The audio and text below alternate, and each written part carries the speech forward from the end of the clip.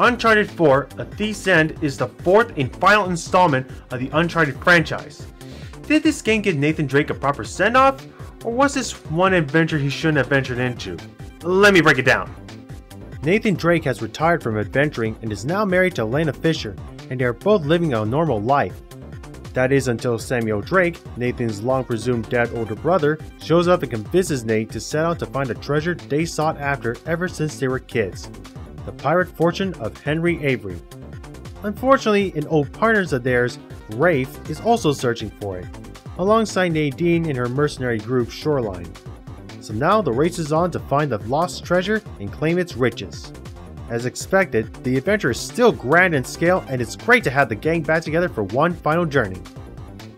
As they say, if it ain't broke, don't fix it. Though the gameplay has been refined a bit. You still climb gigantic environments, but you get to use a rope with a grappling hook and it makes for some dynamic exploration. You still get engaged in cover-based shooting, though there are segments that give you the stealth option if you can accomplish it. There are still great puzzles to solve, and you get to find those sweet, sweet hidden treasures. Overall, the action sequences are heart pumping as ever, gunfights are still hectic, and it all felt like playing a live action movie. Speaking of which, the game has definitely set the bar on what the PS4 is capable of. From the ruins of Panama, the rocky cliffs of Scotland, and even Madagascar. Look at that beautiful red rock and sandy landscape! It's so beautiful!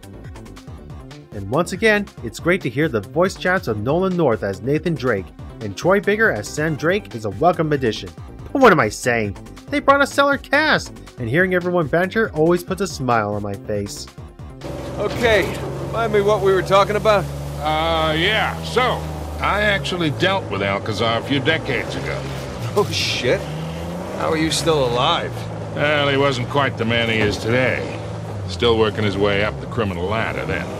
My only complaint is that this game doesn't use its main theme song that it is well known for, though they kinda make a rendition of it for the credits.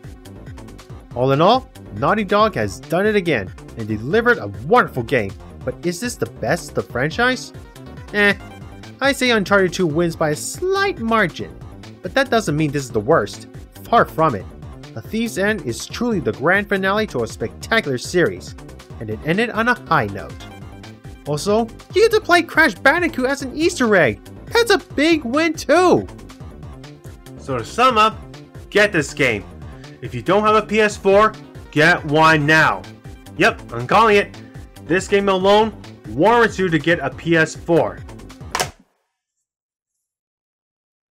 I know there's a multiplayer to talk about, but it's inconsequential to me. I played for the adventure, not the multiplayer.